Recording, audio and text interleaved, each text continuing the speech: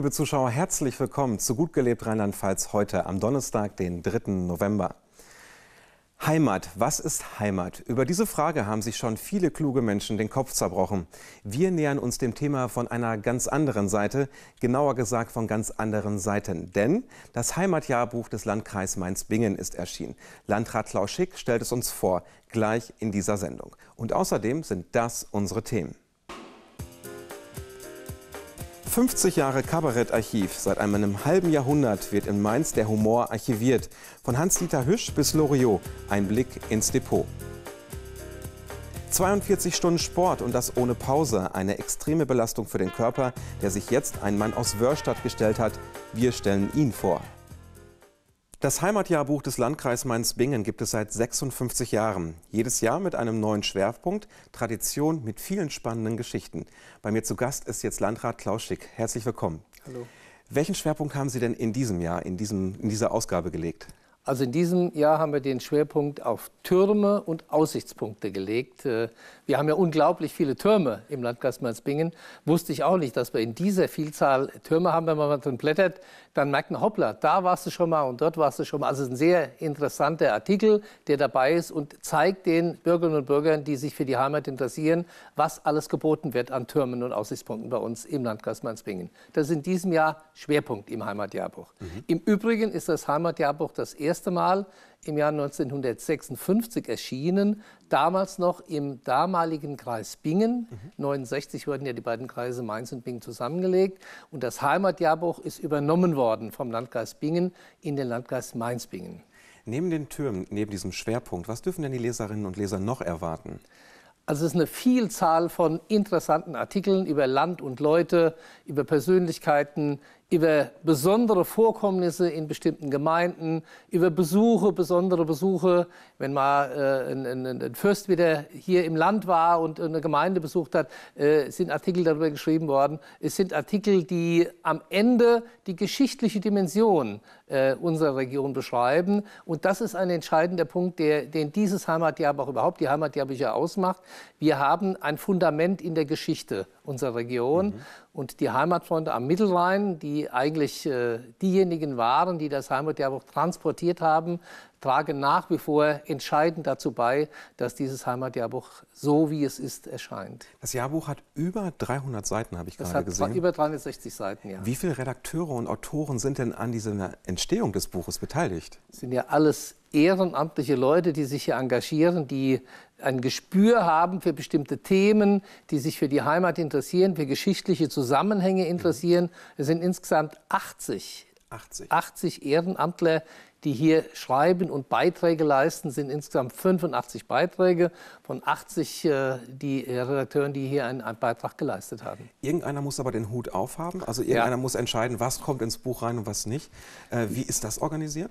Wir haben einen Redaktionsausschuss und ja. der Vorsitzende ist der Herr Hattemer, mhm. der, bei dem laufen die Dinge zusammen äh, und der Redaktionsausschuss legt auch fest, äh, in welchem Jahr welches Thema als Schwerpunktthema mhm. genommen wird. Und auf der Basis dieses Schwerpunktthemas wird dann versucht, diese vielen Redakteure, die wir haben, eben diese ehrenamtlichen Redakteure dazu zu gewinnen, eben hier einen Beitrag zu leisten. Sie sagten eben, dass die Redakteure und Autoren ehrenamtlich arbeiten, ja. aber trotzdem entstehen ja Kosten bei der Erstellung des Buches. Wie finanziert sich das Buch?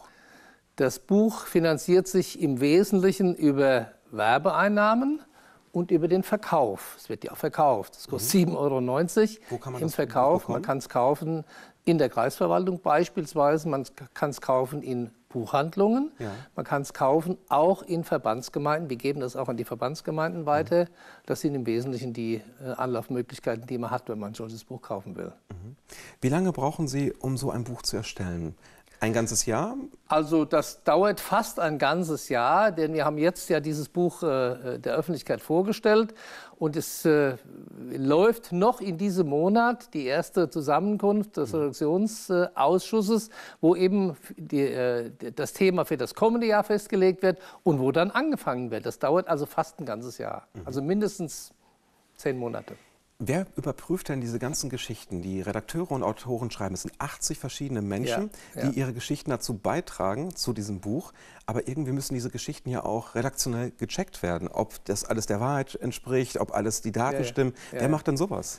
Das macht der Redaktionsbeirat. Da spielt der Hartmann eine ganz entscheidende Rolle. Mhm. Da ist so, wenn man so will, so eine Filterstation, wo das alles nochmal gecheckt und geprüft wird. Ja. Wie viele Menschen sind in dem Beirat? In dem Redaktionsbeirat mhm. Um die zehn. Um die zehn. Ja. Wie sind denn die Reaktionen auf das Heimatjahrbuch in der Bevölkerung? Also sie sind überaus positiv. Äh, wir machen das ja so, dass wir das Heimatjahrbuch offiziell vorstellen, wenn es fertig ist, mhm. laden dazu in die Kreisverwaltung ein, in den Sitzungssaal der Kreisverwaltung. Und da können Sie von ausgehen, da ist immer ein sehr, sehr reger Andrang, weil es auch immer ein bisschen verbunden ist mit Unterhaltung, mit ein bisschen Musik. Und dann äh, wird von dem Redakteur von dem Herrn Hattemer eben dargestellt, wie es entstanden ist mhm. und was für Inhalte drin sind und welche Besonderheit da in diesem Buch in diesem Jahr äh, äh zu erkennen ist. Also mit anderen Worten, das Buch wird so vermarktet, zunächst mal dargestellt, dass sofort starkes Interesse entsteht an diesem Buch. Und äh, man kann davon ausgehen, dass diejenigen, die an diesem Abend kommen, auch alle schon eins mitnehmen. Ja. Äh, das ist ja so, das ist ja auch, wenn man so will, äh, die Redakteure, die dabei sind, bringen ja Familienangehörige mit und so ja. weiter. Das ist so eine Gemeinschaft, die letztlich an dem Buch zusammenarbeitet und die dann wie, wie so ein Multiplikator wirkt in die Bevölkerung hinein. Es wird sehr stark nachgefragt. Bei uns rufen dann die Leute an, wo kann man es holen, mhm. äh, ab wann ist es zu haben. Und also mit anderen Worten, das Buch hat einen festen Kundenkreis mhm. äh, und die Auflage von knapp über 4000 wird auch immer sehr schnell abgesetzt. Gibt es denn auch die Möglichkeit, dass sich Interessierte an ähm, die Organisatoren des Heimatbuches äh, wenden können, um, weil sie selber Geschichten haben, die ja, sie ganz gerne auch präsentieren möchten? Darum, dafür werbe ich natürlich. In diese Sendung hier ist eine Chance, dafür nochmal zu werben. Natürlich ist jeder herzlich willkommen, der einen Beitrag leisten kann und gerne liefern möchte. Er ist dazu aufgerufen, mhm. mit dem Herrn Hattemer sich in Verbindung zu setzen und zu sagen, ich würde gern darüber was schreiben. Besteht die Möglichkeit, dass ihr mich da unterbringt im Heimatjahrbuch? Soll ich das machen? Und da kann ich nur dazu ermuntern, dass das so ist. Wir haben ja ein Interesse daran, dass immer wieder zusätzliche neue äh, Redakteure dabei sind, die mithelfen, das Buch zu erstellen. Ähm, wissen Sie schon, womit sich das Jahrbuch im nächsten Jahr beschäftigen wird? Das kann ich Ihnen noch nicht sagen. Das legt am Ende der Redaktionsausschuss fest und äh, das wird vermutlich noch in diesem Jahr sein. Muss ja auch. Klaus Schick, Landrat des Landkreises Mainz-Bingen, herzlichen Dank für das nette Gespräch. Liebe Zuschauer, wir kommen zu einem ganz anderen Thema. Vor wenigen Tagen hat das Kabarettarchiv in Mainz 50-jähriges Jubiläum gefeiert. Mein Kollege Laurens Form zeigt Ihnen, was archiviert wird. Einen roten Teppich hätte jeder verdient, der einen dieser Sterne ziert.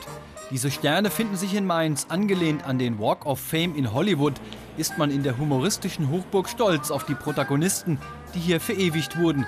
Auch der größte von allen ist dabei. Das Deutsche Kabarettarchiv in Mainz feiert sein 50-jähriges Jubiläum. Seit 2004 ist das Archiv der guten Laune im Proviant-Magazin beherbergt. Im Bestand finden sich mehr als 80 Nachlässe zu mehr als 80.000 Personen, denen der feine Humor alles bedeutete. Allein sage und schreibe 18.000 Plakate sind ausgewiesen, dazu etwa 30.000 Bände Literatur, all das verteilt auf üppige 870 Quadratmeter Ausstellungsfläche. 50 Jahre deutsches Kabarettarchiv Mainz sollte dieses herausragende Kulturgut weiter fördern. In diesem Sinne, heiter weiter. Bei mir zu Gast ist jetzt der Leiter des Deutschen Kabarettarchivs, Jürgen Kessler. Herzlich willkommen. Hallo, guten Tag. 50 Jahre Archiv in Mainz. Was wird gesammelt? Ja, alles, was Kabarett, was Satire in allen möglichen Spielformen so produziert, äh, mit Randerscheinungen. Äh, kann ich eine Geschichte erzählen? Klaus-Peter Schreiner, der große Autor der Lach- und Schießgesellschaft, der steckte mal in einer Schreibkrise. Und da hat ihm äh, jemand empfohlen, bau doch mal ein Puppenhaus. Und dann hat er ein Puppenhaus zwei Jahre lang gebaut, so ein riesen Oschi, den haben wir auch bei uns stehen und der erfreut nun ganz viele Gäste.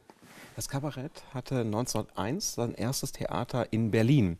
Das waren die Anfänge. Sie haben uns ja. ähm, ein Buch mitgebracht, wo Anfänge in Berlin zu sehen sind. Ich lege das mal zur Seite. Und zwar, das ist schon, schon die zweite Seite, das Brandenburger Tor.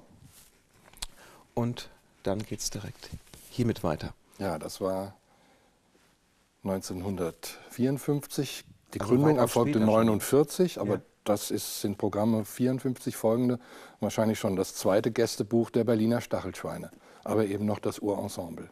Woher haben Sie diese einzelnen äh, Bilder und ähm, Zeitungsausschnitte bekommen?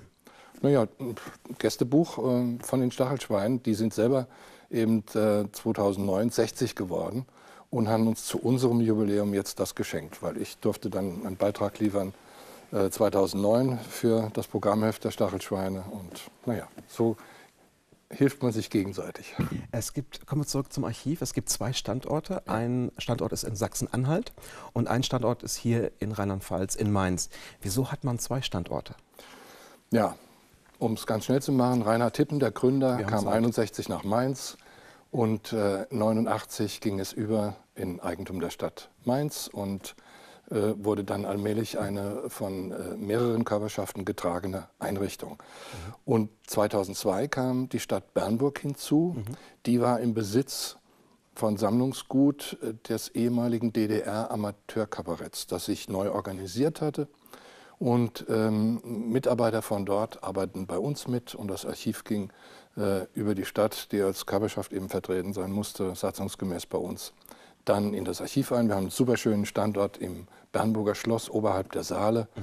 Und äh, ich freue mich auch, dass ganz viele Besucher dorthin kommen.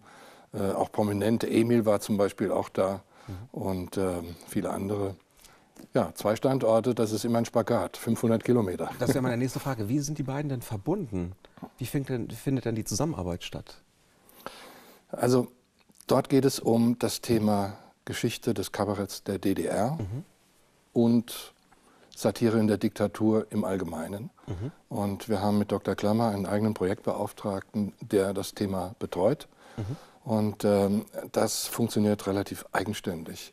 Äh, was von mir und von hier, von Mainz aus organisiert wird, sind vor allem die Veranstaltungen, die Ausstellungen und äh, ja, die verwaltungstechnischen Dinge. Mhm. Wie präsentieren sich die beiden zusammen in der Öffentlichkeit? Na, erstmal übers Internet. Wir haben äh, eine ziemlich umfängliche Seite. Mhm www.kabarett.de. Mhm. Und äh, das ist das eine. Das zweite ist eben, äh, ich sitze hier und so präsentiert sich das Archiv natürlich dann auch. Mhm. Es gibt in Mainz und in Bernburg Sternstunden.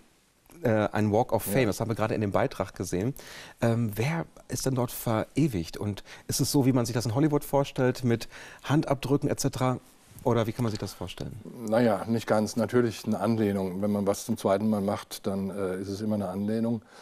Bei uns sind es keine Handabdrücke, sondern die Signaturen. Okay. Das soll sagen, diese Menschen haben in besonderer Weise an der Geschichte des Kabaretts oder der äh, Erscheinungsform der Satire mitgeschrieben. Mhm. Sie haben in besonderer Weise eben äh, das Genre geprägt über das 20. Jahrhundert. Es mhm. geht in unserem Projekt um die Besonderen unter den Ausgezeichneten. Ja. Wir haben über 80.000 Namen, mhm. aber wir haben in Mainz vorgesehene äh, Platzhalter für Sterne, 80 Stück, 73 sind schon drin. Okay.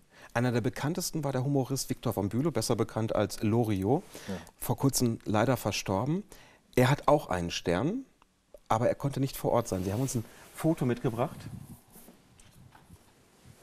Wo ist das Foto entstanden? Das ist nicht in Mainz entstanden. Nein, das war auf dem Grundstück von Herrn von Bülow äh, im Juli 2009. Mhm. Äh, seine äh, körperliche Gebrechlichkeit, muss man schon sagen, damals ließ es einfach nicht zu, dass er nach Mainz kam. So durften wir dorthin reisen. Ich dachte, wir stehen vor der Tür, überreichen den Stern und sind dann rasch wieder weg. Äh, es waren vier Stunden und äh, er ließ uns kaum noch weg. Wir mussten am Schluss noch im Wohnzimmer einen Film mit anschauen und so weiter. Wir hatten gemeinsame Bekannte. Dann, ich habe ja auch eine Strecke von 40 Jahren jetzt äh, auf dem Buckel, was das Thema angeht. Und konnten uns wunderbar unterhalten. Und es war ein traumhafter Nachmittag. Mhm. War, wie wichtig war er für den deutschen Humor? Ja, Loriot ist für mich ein Vertreter des alten Europa. Er hat so einen Schuss englische Nonchalance und französische Eleganz mhm. und diese deutsche Gründlichkeit, auch den Biedersinn, auch die, äh, das Konventionelle, das er in sich trägt, das dann sehr schnell ins Komische kippt und verkörperte praktisch das, was schiefgehen kann mhm. in der bürgerlichen Welt. Also zum Beispiel dieser Sketch von ihm, das Bild hängt schief, ja. äh, kennt jedes Kind äh, ist ein wunderbares Sinnbild auch für die Bundesrepublik. Ganz viel passiert, ganz viel ist gut gemeint und dann geht es doch irgendwie schief. Mhm. Von Hartz IV bis jetzt Griechenland, mhm. äh, was auch immer man anfasst, man hat das Gefühl, Vieles ist gut gemeint und ständig geht alles schief. Und das hat Loriot in seinen Sketchen genial abgebildet. Haben Sie in Ihrem Archiv auch Material von Loriot? Ja, das haben wir. Wir haben noch persönliche Widmungen von ihm. Mhm. Und ich bin bemüht, aber ich wollte mal ein bisschen Zeit vergehen lassen und wollte mit Romy von Bülow in Kontakt treten, ob mhm. vielleicht das eine oder andere dann noch mhm. möglich ist zu bekommen. Wo Sie das gerade sagen, welchen Wunsch haben Sie für die Zukunft? Wo möchten Sie ganz gern Ihr Archiv sehen? Was hätten Sie noch gerne? Am wichtigsten ist, glaube ich, dass wir immer auf Menschen in der Politik stoßen, die ja in den Gremien sitzen, die dieses Archiv äh, tragen. Es ist ja eine öffentlich-rechtliche Veranstaltung auf Ebene Bund, Hauptzuwendungsgeber, äh, zwei Länder, zwei Kommunen, mhm. wo die Standorte sind, dass wir dort immer auf verständige Menschen treffen, die äh, den Sinn sich bewahren dafür und ähm, die Wertschätzung. Und äh, wenn das so sich weiterentwickeln lässt, wie es in den letzten 22 Jahren, wo ich das Archiv führen durfte, möglich ist, dann wäre ich schon sehr glücklich.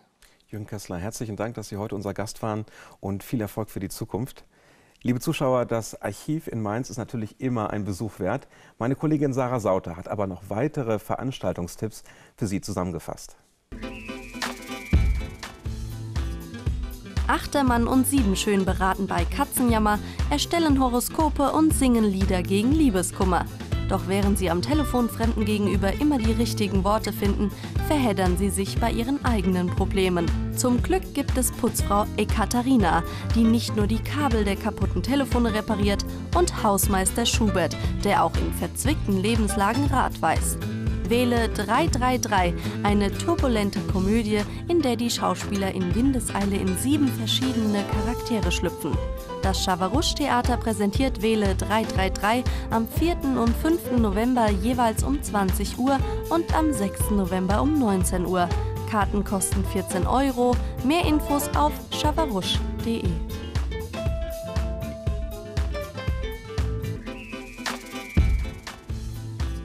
Die Galerie Katrin Hiestand zeigt unter dem Titel Traum und Flügelschlag eine umfassende Einzelausstellung mit Arbeiten von Nicola Jentsch. Ihre Zeichnungen sind Ausgangspunkt eines neuen Bildstücks. Durch Hinzufügen von Fundstücken in Form von alten Briefen, Tapetenresten, vergilbten Postkarten und Schnittmustern entstehen ähnlich wie bei einem Kaleidoskop surreale Bildwelten. So laden die Werke ein in eine Welt der Fantasie und öffnen Türen für unsere Träume. Traum und Flügelschlag noch bis zum 28. November in der Galerie Hiestand in Landau. Mehr Infos auf galerie-hiestand.de.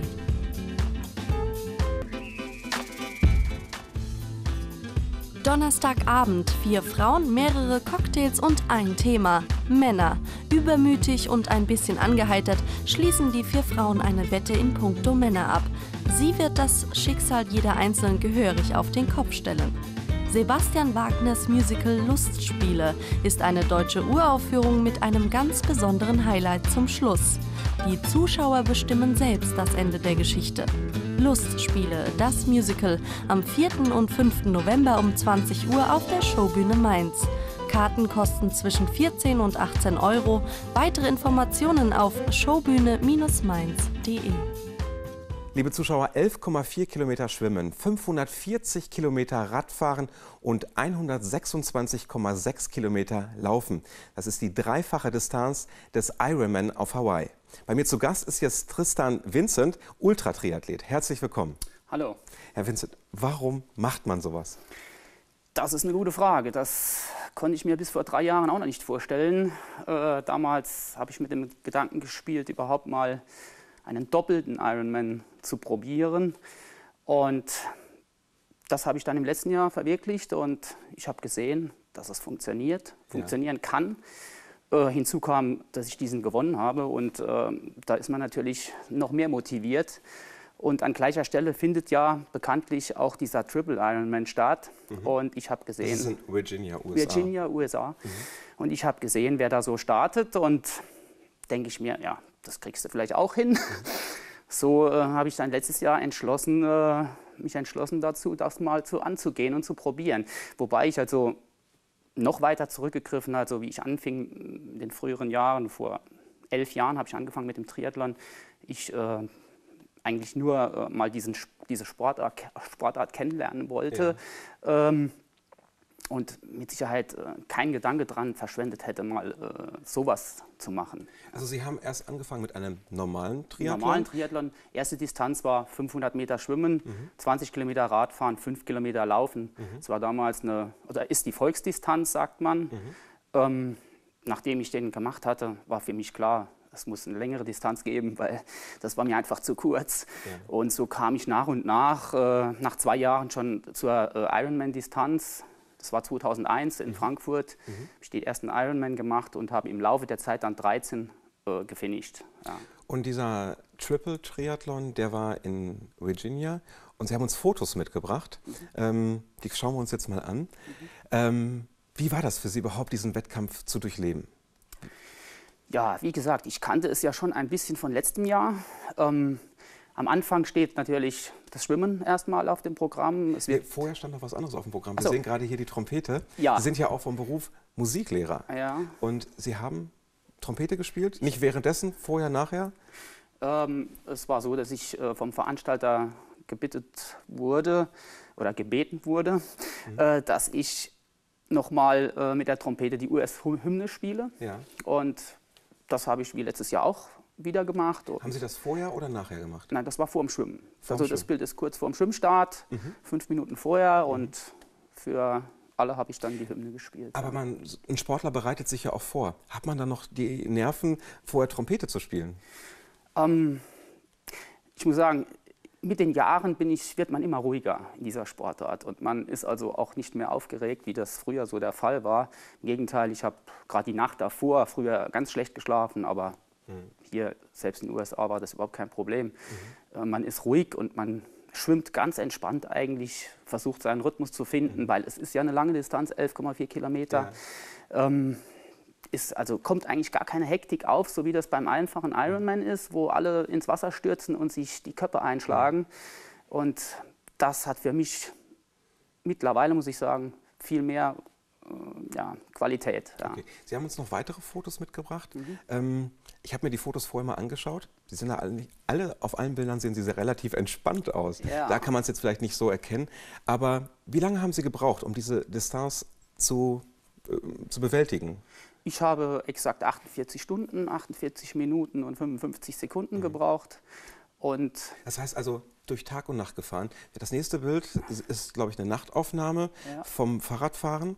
Ja. Ähm, wie schafft man das, 48 Stunden am Stück wach zu bleiben und Sport zu machen? Ja, es, ich habe es nicht ganz geschafft. Es war das Ziel eigentlich, dass ich das ohne Schlaf schaffe. Aber ich muss sagen, in der zweiten Nacht war es grenzwertig und es ging halt so weit, dass ich äh, beim Laufen eingeschlafen bin, zwei, dreimal und äh, kurz vorm Stolpern hinfallen war. Und das war für mich dann der ja. Punkt, wo ich gesagt habe, so, jetzt muss ich mal ein bisschen schlafen und habe meinem Betreuer gesagt, eine Stunde Wecker stellen und dann stehe ich wieder auf und dann habe ich noch 25 Kilometer zu laufen. Und so habe ich das danach problemlos geschafft. Also es war für mich selbst äh, erstaunlich. Nur eine Stunde geschlafen mhm. und ich habe gedacht, du kommst da nie wieder hoch. Ja. Wahrscheinlich, wenn du mal liegst. Ja. Aber ich kam wunderbar wieder hoch und hat funktioniert. Wir haben noch ein Foto vom Zieleinlauf, äh, mhm. äh, beziehungsweise nachdem Sie durchs Ziel gelaufen sind und wahrscheinlich ein bisschen verschnaufen konnten. Das ist das. Den wievielten Platz haben Sie belegt? Ich wurde insgesamt Siebter mhm. von Wie viele Teilnehmern? 18 Startern. Da war eine Frau dabei, die wiederum ist umgestiegen auf den Doppelten während des Wettkampfs. Das kann man machen. Das okay. geht. Mhm. Wer nicht mehr kann, der macht das halt so. Okay. Und es sind aber zwei von den 17 Männern, die gestartet sind, sind ausgeschieden und äh, die anderen kamen ins Ziel. Ja. Also das Ganze ist nicht so eine Massenveranstaltung wie, sage ich mal, ein normaler Triathlon oder normaler genau. Marathon. Man ist da schon in einer kleineren Runde. Kleineren Runde und alles sehr entspannt. Äh, und es ist erstaunlich, wie alle das eigentlich sehen. Also sie sind alle sehr locker drauf, selbst wenn sie Schmerzen haben. Also es gab einige, die die haben sich Blasen gelaufen, sowas habe ich noch nicht gesehen. Also, oder die Zehennägel konnte man abziehen. Ja. Ähm, es war grenzwertig bei einigen, aber die nehmen das alle ganz humorvoll, die Amerikaner sowieso. Ja. Und bei der Siegerehrung gingen manche so nach vorne, konnten sich kaum mehr bewegen, aber sie haben sie es durchgezogen. Ja. Das heißt doch eigentlich, jeder weiß, dass er hinterher völlig fertig ist, eventuell Schmerzen hat etc. Da frage ich mich wieder, warum tut man sich das an? Ja, also ich muss sagen, mir ging es gut, bis auf das, dass ich einfach müde war irgendwann, ja. aber mir ging es körperlich sehr gut. Ich hatte keine muskulären Probleme gehabt, ich habe mhm. nicht mal einen Krampf gehabt. Mhm. Und das war so auch meine Bedenken im Vorfeld, habe ich gedacht, also nach dem, danach kann ich wahrscheinlich nicht mehr so richtig bewegen. Mhm. Aber wie gesagt, also ich konnte mich ganz normal fortbewegen. Wie lange muss man sich vorbereiten auf so einen Wettkampf? Ja, das beginnt schon im Winter, sag ich mal. Ja. Also wann der Wettkampf war in Virginia? Im Oktober, ja. Oktober. Also richtig eingestiegen bin ich ähm, also mit, mit, dem Training letzten Dezember. Mhm. Im Dezember fing das an, also im Winter schwimmt man, fährt Rad, so meistens auf der Rolle. Mhm. Wenn es draußen erlaubt, bin ich auch draußen gefahren, aber so richtig raus ging es erst so im Februar aufs Rad und dann beginnt es in den Osterferien ein Trainingslager mhm. an der Adria mit einer Radmannschaft aus Oppenheim, mache ich das jedes Jahr. Mhm. Äh, danach bin ich mit meinem Betreuer, der diesmal mit war, der selbst Radtrainer ist, sind wir zusammen nach äh, Frankreich mit dem Rad drei Tage gefahren, nach hinter äh, Dijon, also mhm. 650 Kilometer waren das. Und so ging das dann los, ja. Und somit kam also dieses Jahr, muss ich sagen, zum ersten Mal auch eine richtige Kilometerzahl auf dem Rad zustande. Also ich bin dieses Jahr ca. 15.000, 16.000 Radkilometer gefahren im Vorfeld. Und weil ich wusste, entscheidend wird das Radfahren sein. Ah, okay. Weil das ist die längste Distanz, wo man auch am längsten unterwegs ist bei diesem Wettkampf. Und das Laufen wollte ich besser hinbekommen. Das war auch eine Erfahrung, dass ich das, wenn ich es nochmal angehe, ähm, dass ich das Laufen noch ein bisschen besser hinkriegen muss. Aber mhm. mir hat die Zeit gefehlt, muss ich sagen. Die Freizeit war sehr eingeschränkt in diesem Jahr. Mhm durch, bedingt durch private Sachen auch berufliche Sachen. Und, ja. Sie haben 48 Stunden, 48 Minuten und 55 Sekunden gebraucht. Mhm. Wo möchten Sie hin? Was ist Ihre, Traum, Ihre persönliche Traumzeit? Ja, ich sag mal, auf dieser Distanz ist es schon ist es verbesserungsfähig. Deswegen spiele ich mit dem Gedanken, das im nächsten Jahr nochmal anzugehen. Mhm. Ähm, gut, meine Zielzeit könnte sein, dass ich um die 43, 44 Stunden hinbekommen könnte. Das ist aber eine deutliche Steigerung. Das wäre schon eine Steigerung, aber es ist wie gesagt, das ist, wenn ich ein gutes äh, Betreuerteam da gehabt hätte, mhm. Keine Frage, der Betreuer, der mit war, äh, war top, aber die meisten haben das mit drei, vier Betreuern bewältigt. Okay. Ne? Und das ist natürlich für uns Europäer eine kostenspielige Geschichte. Ja? Ein Betreuer muss sich ja auch mitfinanzieren. Ne? Mhm. Ne? Und ohne Sponsoren ist das sehr schwierig, sowas zu, zu hinzubekommen. Ja? Mhm. Und deswegen hoffe ich, dass ich im nächsten Jahr vielleicht ein bisschen Unterstützung bekomme. Also jeder, der Sie unterstützen will, ist herzlich willkommen. Ja. Tristan Vincent, herzlichen Dank, dass Sie heute unser Gast waren und viel Erfolg für die Zukunft. Liebe Zuschauer, wir sind leider schon wieder am Ende unserer Sendung angekommen. Ich möchte Sie aber noch auf unsere Internetseite hinweisen. Auf unter www.gutenberg.tv können Sie alles Wissenswerte über diesen Sender erfahren und in der Mediathek können Sie diese Sendung jederzeit nochmal abrufen. Das Team von Gutenberg TV sagt herzlichen Dank fürs Zusehen und bis morgen, wenn Sie mögen. Tschüss.